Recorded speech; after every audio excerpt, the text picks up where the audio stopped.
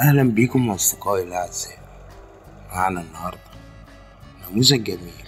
لصديقة جميلة من ذوي الإرادة. صديقتنا الجميلة بسبب إصابتها بالكانسر فقدت أحد ساقيها وبإرادة قوية بتتحدى صديقتنا الجميلة الإعاقة باستخدام طرف صناعي تبدأ صديقتنا الجميلة تمارس أعمالها اليومية. تحديات كتير وصعوبات كتير بتواجهها لكنها بتقدر تتغلب عليها.